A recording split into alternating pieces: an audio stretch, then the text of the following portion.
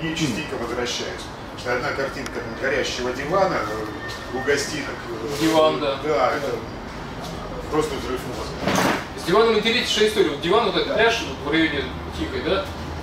Недавно нашли картину Бурлюка. Вернее, недавно выяснили, что на ней, на ней изображено. Есть картина Бурлюка, которая называется «Вид побережья Крыма, Коктебель». Э, недавно, в общем, наши местные люди сопоставили ее фотографиями дивана. Оказалось, что Бурлюк нарисовал диван, когда он в 20 году здесь был в Владивостоке. Просто потом ее атрибутируют, видят море, скала какая-то, так что ну, пусть будет Крым.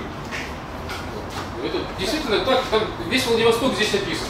И диван, и Эгерширт, и что это, в общем, и места, и какие-то такие моменты. Вот я еще ловил себя на ощущение, когда герой едет по Эгерширту, допустим, и видит вот это поворот на Сипягина, видит эту башенку водонапорную, и вот на нее какое-то внимание обращает.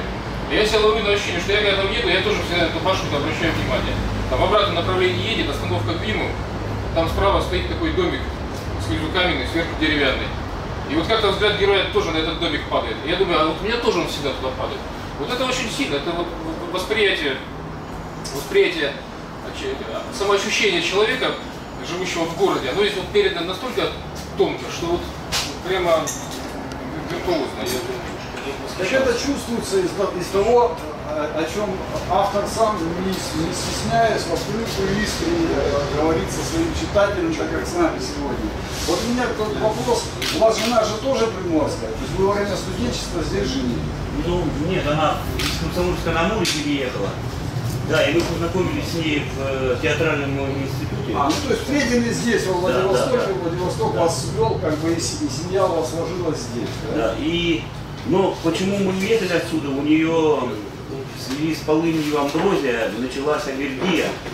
И доктора ей сказали, либо умрешь, либо уезжай. Вот. А, то есть у вас даже вынуждены Да, получается. да, мы не, Вы не, я бы не не из отсюда. беглецов, а как раз вот из тех, кого жизнь вынудила покинуть.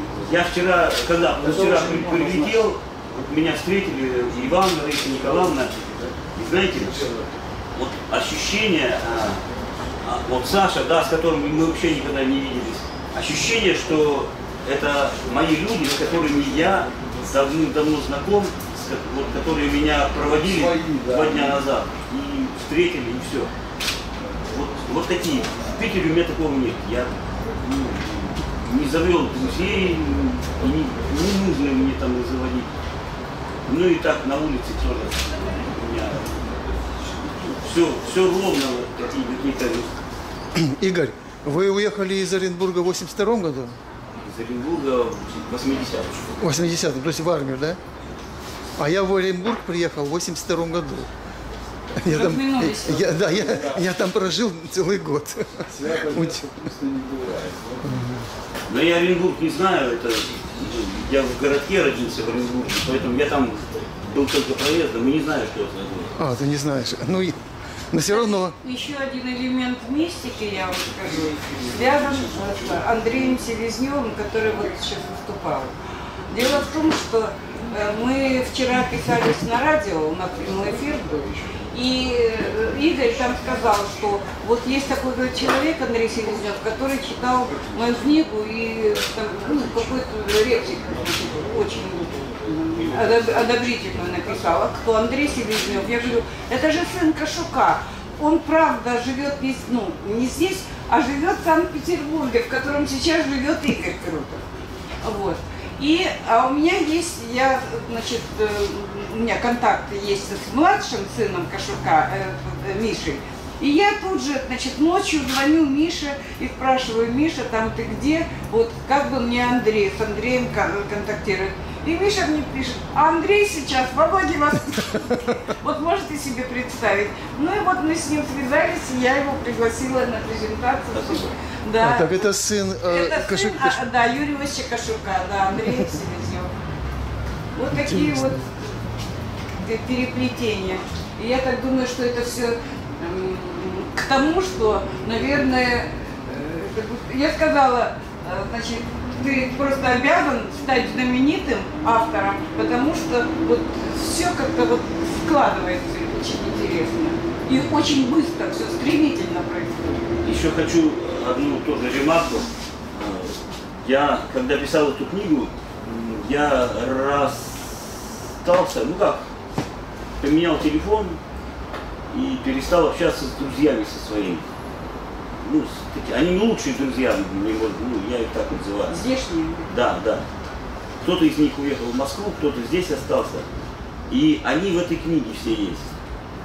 И я расстался с ними, оборвал связи, чтобы, а, чтобы э, не наврать, да, не, э, ну так как я предельную искренность для себя поставил, и чтобы, ну это если мне друг звонит, а я в это время что-то про него пишу, да, но пишу же не то, что он есть, да, а пишу все равно перемалывая у себя в голове, перерабатывая, и персонаж он другой появляется, чем, э, ну, отличается от того живого.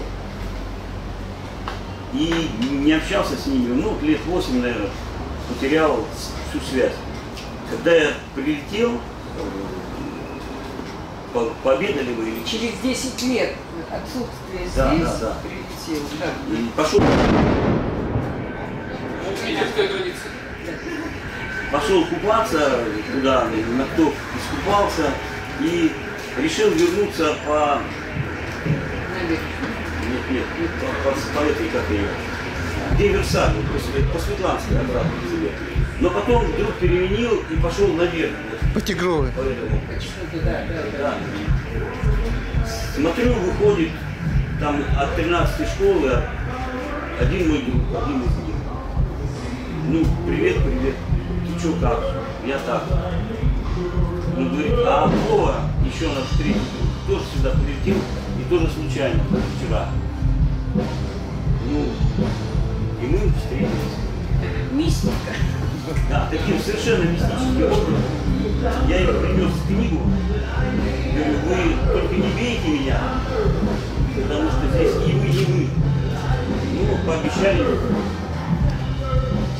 Ну, собственно, родил- родилось определение романа «Роман предельной искренности».